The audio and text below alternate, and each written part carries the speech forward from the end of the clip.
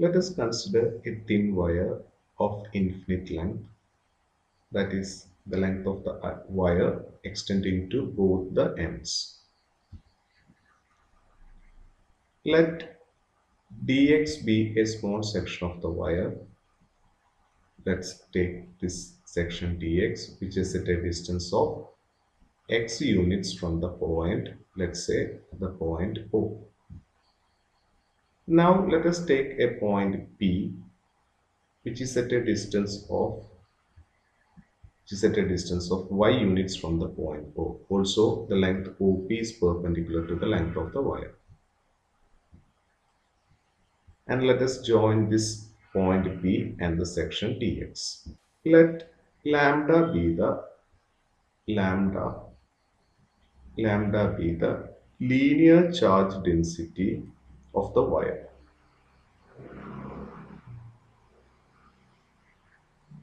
Linear charge density. Suppose dq be the amount of charge accumulated in the section dx, then we have lambda equal to, we have lambda equal to charge divided by length, dl dq by dx. Implies the charge accumulated in the section dx will be dq equal to lambda dx. Let's call that as equation number 1. Now, this charge produces an electric field at the point P and its direction will be radially outward like this. Let's take that as dE.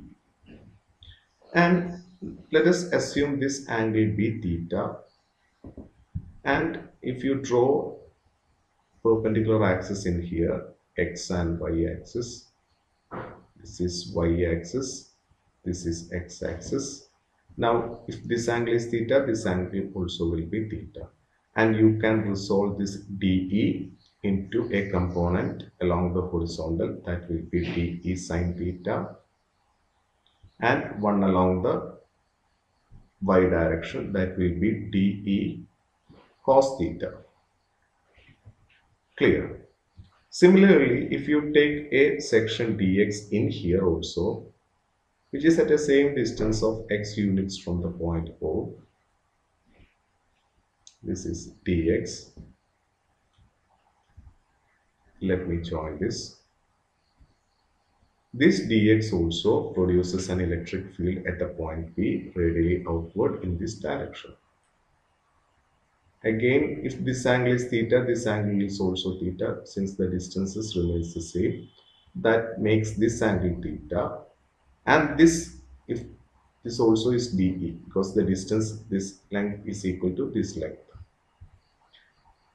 And you can resolve the dE into one along the horizontal that is dE sine theta and that one along vertical direction dE cos theta.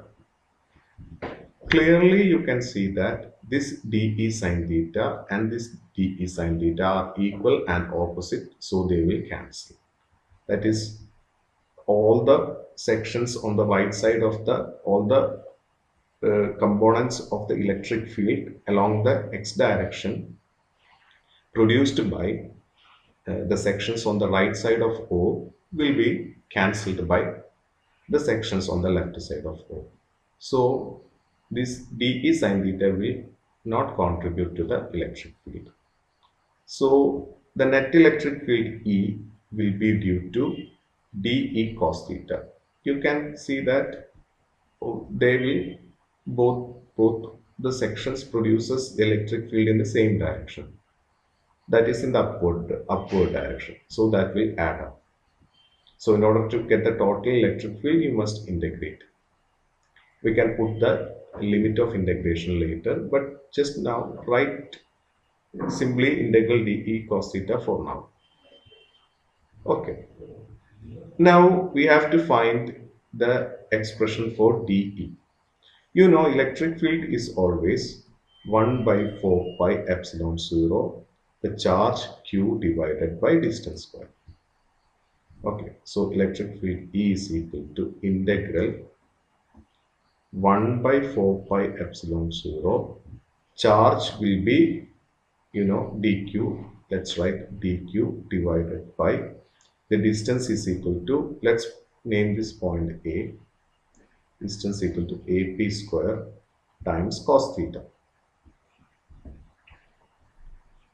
That is e equal to integral 1 by 4 pi epsilon 0 let let's put the limit later dq equal to lambda dx divided by AP. You know, AP square will be AP square means x square plus y square. That is base square plus altitude square. x square plus y square cos theta. Now you can see that the in variable of integration is x and the x varies from if, if you go to the left x will be minus infinity. On the right it will be x equal to plus infinity. So the limit of integration is minus infinity to plus infinity. Clear? Now you can take all the constants outside. That is E is equal to E equal to this lambda by 4 pi epsilon 0 is constant lambda by 4 pi epsilon 0 integral minus infinity to infinity dx by x square plus y square cos theta.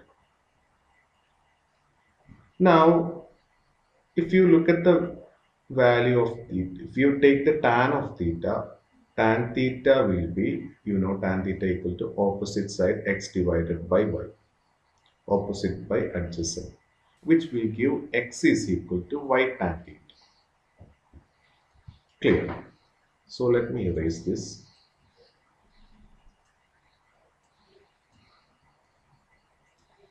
And if you differentiate this equation, you have dx will be dx is equal to this y is constant that this distance always remains constant. y into derivative of tan theta equal to sec square theta. Then you have to put a d theta. Clear? And you also have to change the limit. Okay. That is, before that, let me write e equal to lambda by 4 pi epsilon 0. This limit can be changed. This is equal to 2 times integral 0 to infinity. You know, integral minus a to a is same as 2 times integral 0 to a. I'm using the same concept in here. Let me erase this. So this is equal to 2 times 0 to infinity. Instead of dx, you can put, uh, I'll erase this.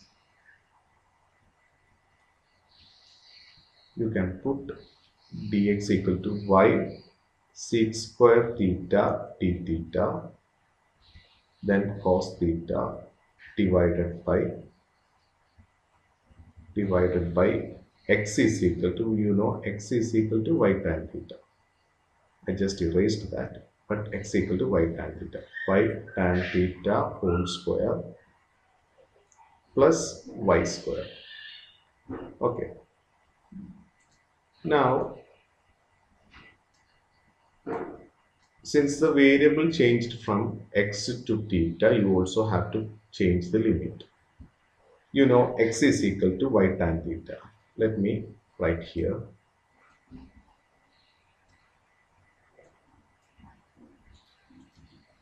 x is equal to x is equal to y tan theta. If x is equal to 0, if x equal to 0, then y, y tan theta equal to 0, which means tan theta equal to 0, implies theta equal to 0. Tan of 0 is 0. So, this E equal to 2 lambda by 4 pi epsilon 0 integral this is equal to 0. Now what happens if x is equal to infinity which means y tan theta equal to infinity that will give tan theta equal to infinity at 90 theta equal to 90 the value of tan is infinity so the limit changes to 0 to pi by 2 this can be written as y sec square theta cos theta divided by this is equal to y square tan square theta plus y square. Clear. Now you can simplify this.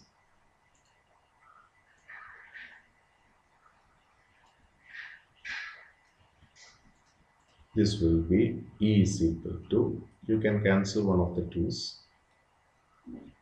lambda by 2 pi epsilon 0, 0 to pi by 2, y sec square theta cos theta d theta there will be a d theta in here divided by y square you can take the y square outside tan square theta plus 1 but you know this c is equal to sec square theta sec square theta is equal to tan square theta plus 1 so that you can cancel this sec square theta and this tan square theta plus 1. You can also cancel one of the y's. Therefore, the final value will be e equal to this y you can take uh, take it out lambda by 2 pi epsilon 0 y integral 0 to pi by 2 cos theta d theta. So E is equal to lambda by 2 pi epsilon 0 y. Integral of cos theta is sin theta. Lower limit is 0, upper limit is pi by 2. So this is equal to E equal to lambda by 2 pi epsilon 0 y sine of pi by 2 minus sine 0. Sine 0. This is equal to 1, 1 minus 0. So, E is equal to lambda by 2 pi epsilon 0 y. So, this is the expression for electric field due to a thin wire of infinite length at a distance y units from the length of the wire. Clear?